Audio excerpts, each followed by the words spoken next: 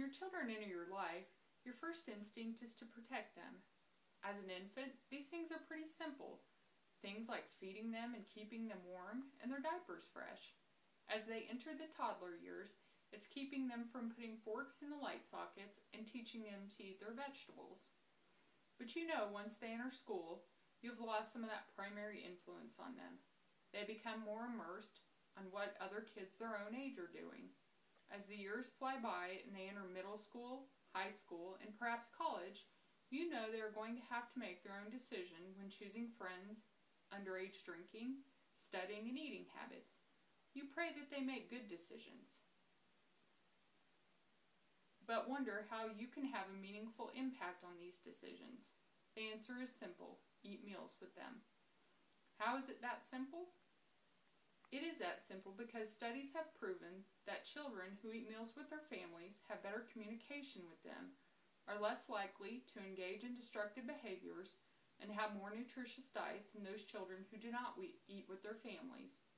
So this begs the question, why? First, focus, focusing on communication, let's examine why eating together improves communication. Depending on your particular youngster, and especially as they get older, getting them to speak to you can be like pulling teeth. You ask, how was your day?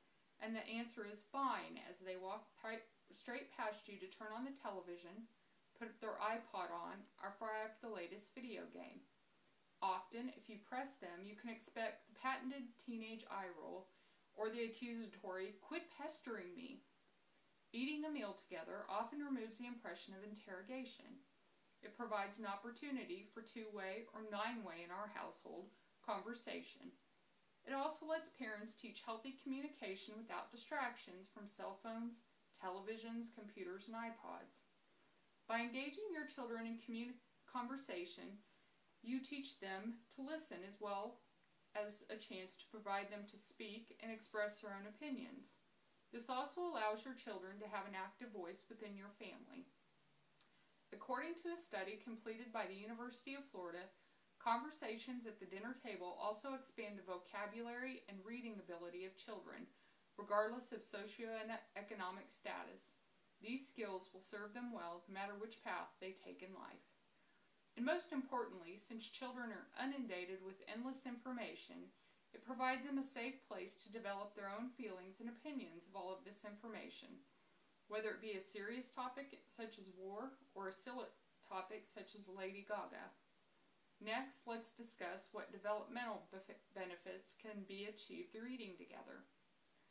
The sense of security and togetherness provided by family meals helps nurture children into healthy and well-rounded adults in a way that lecturing them never could. And according to the National Center on Addiction and Substance Abuse at Columbia University, frequent family dinners have a positive impact on children's internal qualities such as values, motivation, personal identity, and their self-esteem. This positive impact on a child in turn makes the child more likely to understand, acknowledge, and follow boundaries set by their parents. A decrease in high-risk behaviors such as smoking, drug abuse, and underage drinking can also be correlated to how much time is spent with family, and meals are a good way to sneak in this extra time. The dinner table also provides an open forum to discuss what other children are doing, good and bad, and what your children's thoughts are on the subject. I know personally this happens in our family. Once, one of the boys mentioned that the drug dogs were at their high school for Dare Week and that a student was caught with drugs. This provided a non-lecture way to discuss drug use and their thoughts on it and even who they knew that abuses drugs or alcohol. This approach is much more effective than saying, hey, who are the druggies at your school? The last proven benefit that eating together as a family provides is that you follow a more nutritious diet. Eating dinner together as a family encourages healthy eating habits and provides children a model to carry with them into adulthood. Why is that important? Statistics show that nearly 1 in 5 children aged 6 to 19 in the U.S. are overweight. This could lead to health problems such as heart disease, high blood pressure, and type 2 diabetes as they become adults. Studies have shown that family dinners increase the intake of fruits and vegetables, and those families who eat dinner together tend to eat few, fewer fried foods, fast food, and drink less soda. Family meal frequency is also linked to the healthy intake of protein, calcium, and certain vitamins.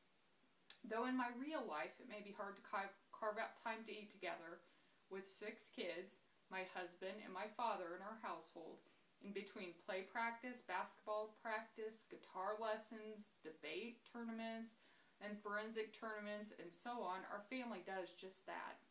We make time to eat together several nights a week. As you have learned today, eating as a family on a regular basis has numerous benefits, such as better communication with your children, developmental benefits, such as reducing the likelihood of drug and alcohol abuse, and nutritional benefits that can make them healthier adults. So tonight, when you get home, put the TV trays away, and tomorrow, bring the family back to the dinner table. Thank you.